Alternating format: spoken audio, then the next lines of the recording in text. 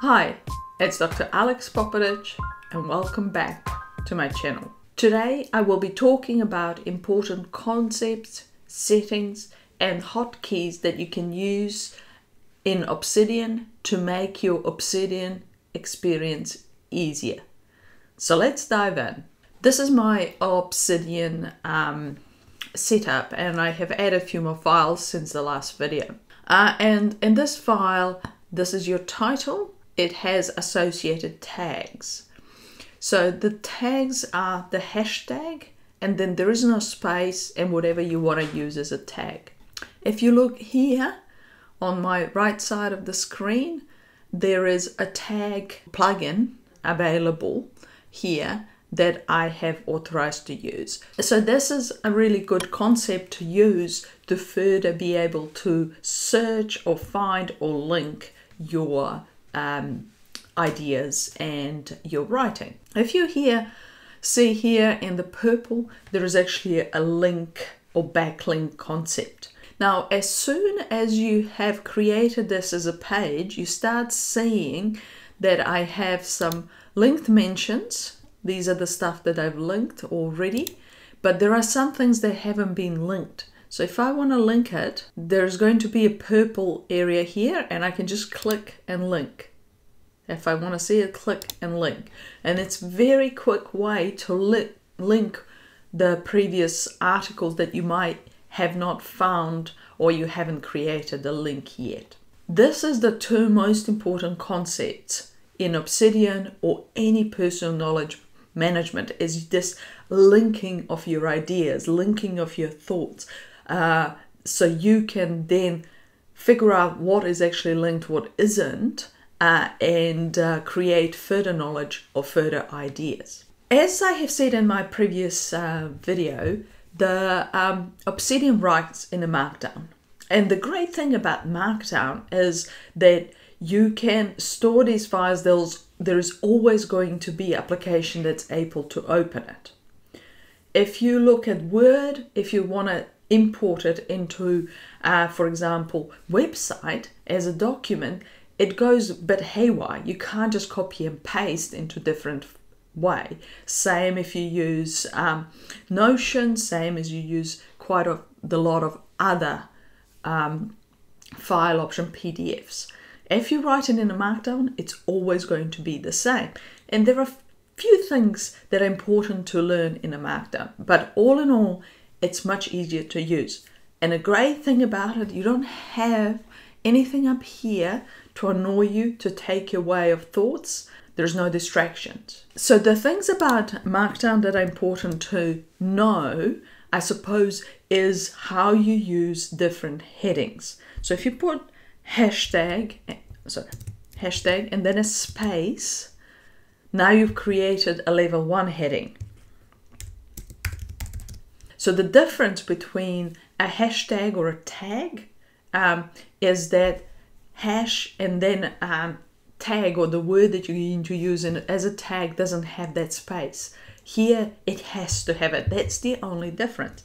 So the level 2 heading is two hashtags, space, hello. Level 3, 3.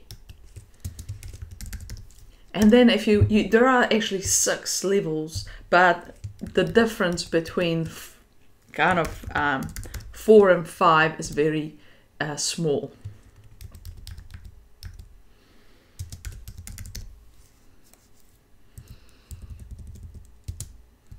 So you can almost not see any difference. So in all in all, it, it actually, there are probably four levels that are useful.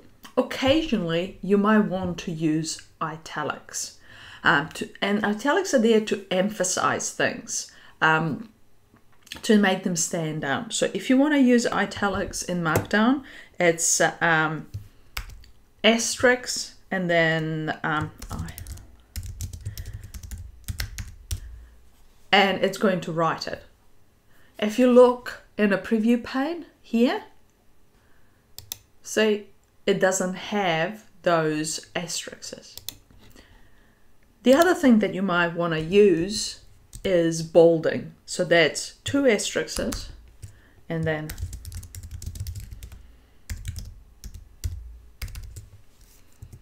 So now you can see that this is bolded. For the list,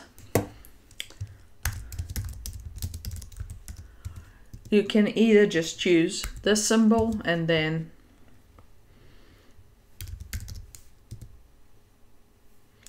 and it knows straight away that it's going to be a list. So you can either use this sign here or you can start numbering. So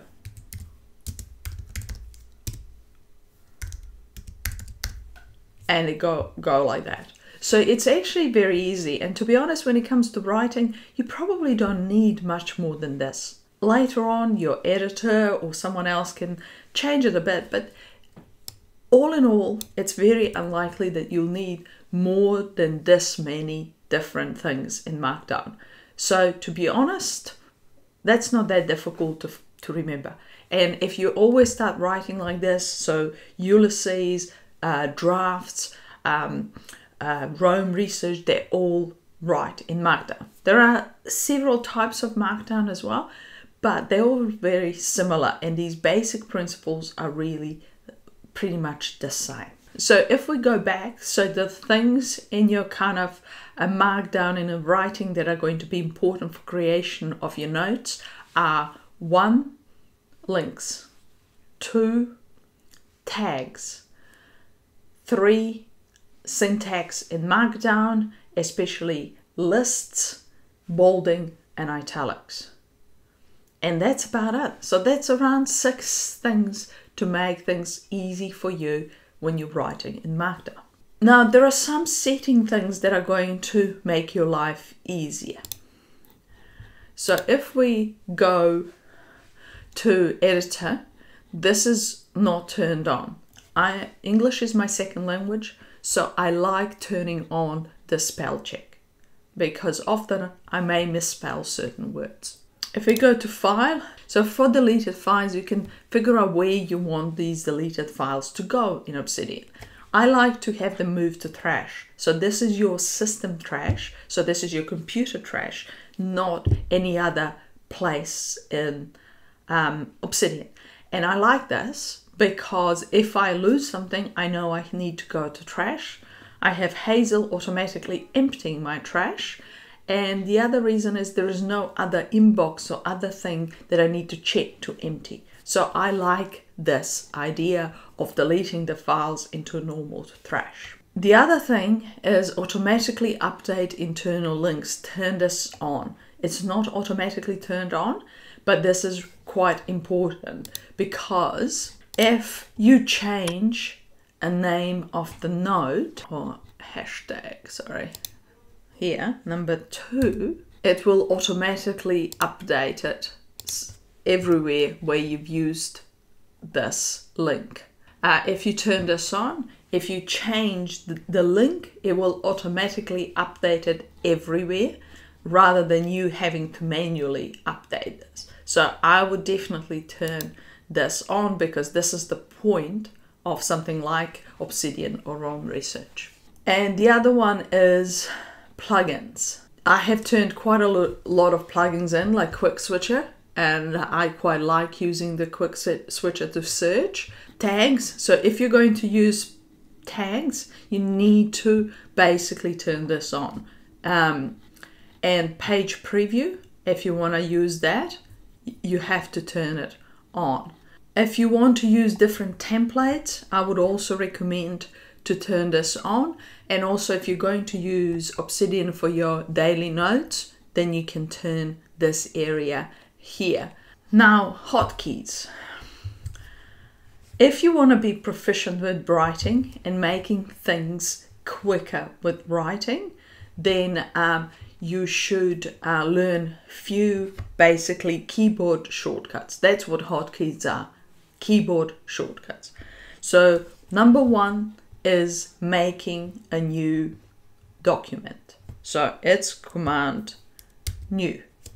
If you wanted to open it in a new window, it's basically so if we have let's say this one opened and you want to open another window it's command shift in there we go so now you have two different things side by side So it's very good for writing.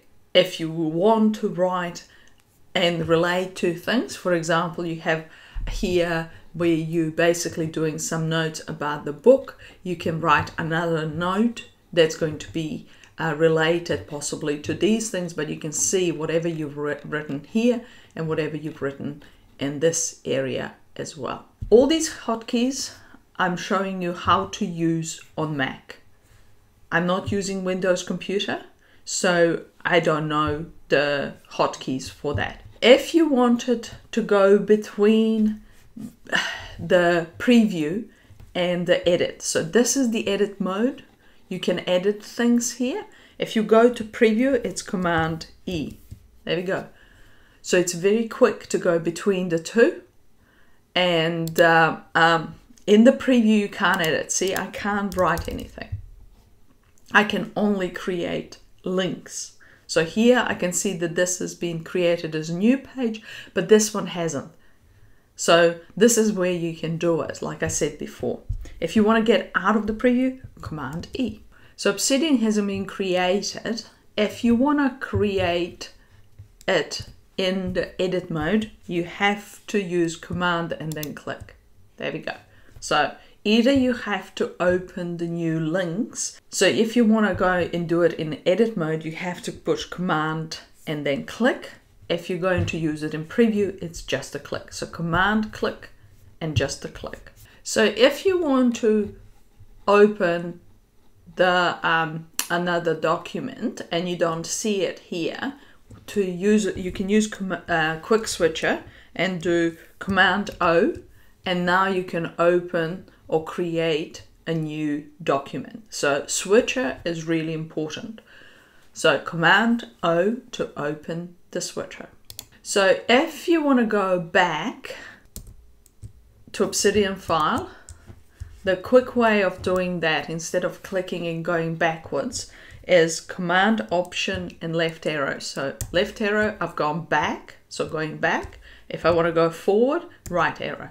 So command option left arrow, command option right arrow. Much easier to do things. If I want to close this note, I go command W and it's closed. Uh, if I want to delete a paragraph, it's command D. So if you want to enlarge something, command plus.